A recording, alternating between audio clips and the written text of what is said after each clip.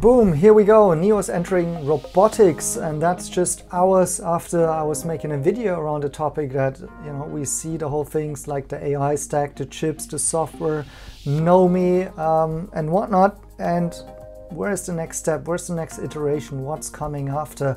Uh, nothing announced so far, but now we get this LinkedIn job description for an AI robotics researcher in, interestingly, San Jose, California, in the US. Well, anyways, just kidding. Obviously, that has nothing to do at all with my uh, video. Uh, NIO's not watching my videos and following my advice, I guess. Uh, but uh, yeah, it's just a little bit of a, a fun example here how fast things can go. But you know, anybody could read that into NIO, I guess, and we've seen other signs, I think, on top of that, um, that there is a likely entry by NIO into the robotics uh, opportunity there, right? So, for example, if you look at previous NIO Capital bulletins here, that was March 2025, NIO Capital invests in humanoid robotics firm LimX Dynamics. So, as you know, NIO Capital is a separate company from NIO, so it's not a direct involvement in terms of that NIO, us where we are invested as shareholders in NIO company, is also investing in this robotics company. No, that's not the case, but NIO Capital is always a good read on where things will be heading with NIO on top later on at some point, because what's happening is that NIO Capital is making an investment in this company uh, it's both headed like NIO Capital and NIO is both spearheaded by Li Bin.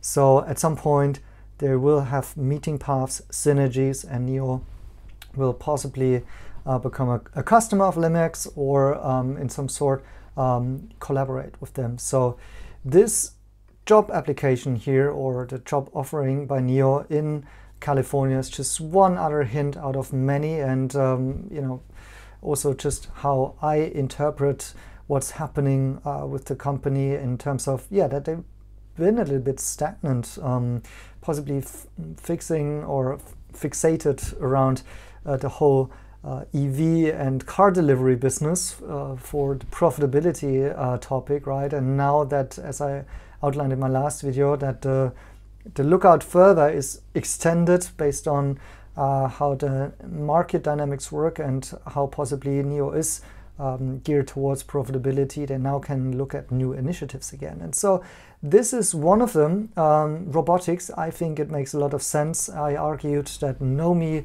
possibly needs a new body. Um, and yeah, if you look into this, um, you know, job description a little bit more in depth, um, they're talking about uh, here embodied AI. So that's physical AI, some sort of a body uh, where they can uh, use the AI models such as the, the NIO World model. You know, it's obviously applied in the car, but there are different application cases uh, based on that technology. And um, yeah, I think one logical iteration also for Nomi itself, this smart assistant, this sort of an AI, early AI uh, device, is also to get outside of the car, maybe into the phone, maybe into another sort of a body. And um, yeah, this is sort of a research position here based interestingly in the US. Seems like this is where they think they can get talent, although there's lots of talent in, in China as well.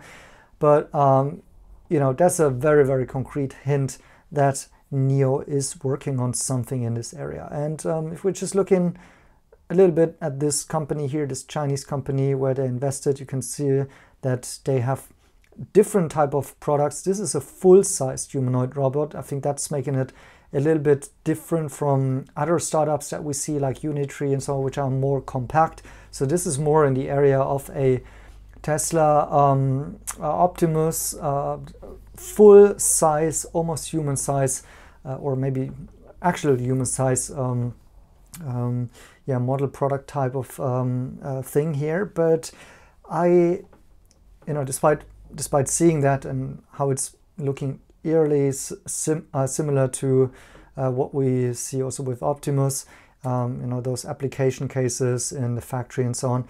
I'm not entirely sure if that is really the ultimate road where NIO will be, will be going down towards, um, because you know, one of the highlights of NIO has been, I think, particularly with Nomi, how it's a more sociable and emotional intelligent device. So not so much about the you know the robotics itself, but maybe more about the intelligence behind that and how it's um, helping people definitely in their daily lives, in in their in kind of becoming your next friend, right? So.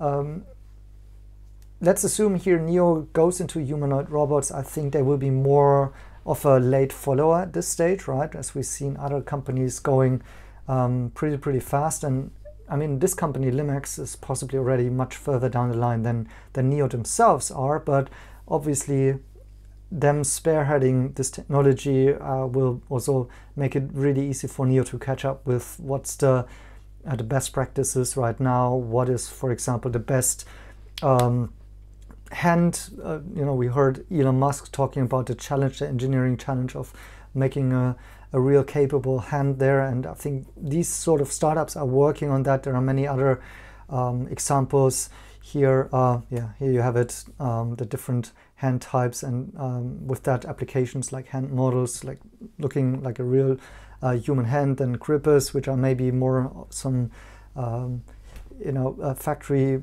use cases that you they, they can be used. And then the, the latest stuff is all just dexterous hands which are you know, very very powerful close to human hands in, in general. But um, that is something that I think they can at some point really jump onto the bandwagon with the latest technology but what I expect from a NIO robotics case really is to to get to a different angle than what the rest of the industry is in.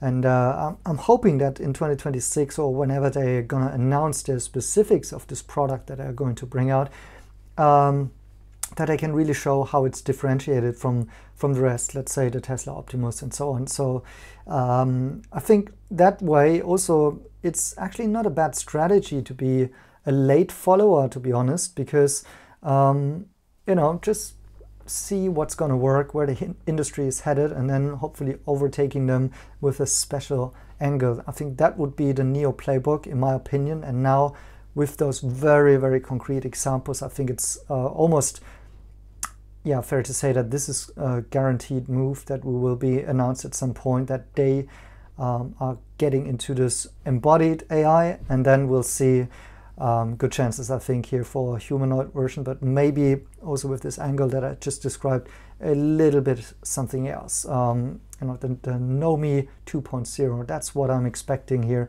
from NIO, And then, you know, some would argue the downsides are uh, they're late, it's costing R&D, it's a distraction, um, they don't have the massive scale that others have, for example, the, the footprint of a Tesla and so on.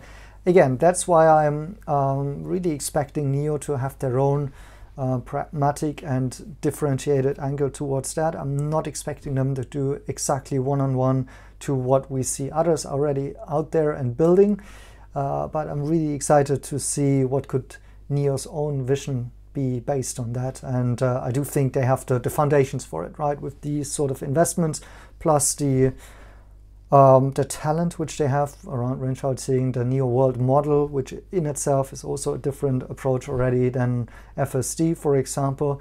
And out of that, there will be something new. And now we have it almost guaranteed, in my opinion, just in a couple of days after or hours after my last video. So what do you think? Where's NIO heading to? Um, I'm personally excited about that. And yeah, hope investors see it as that as well.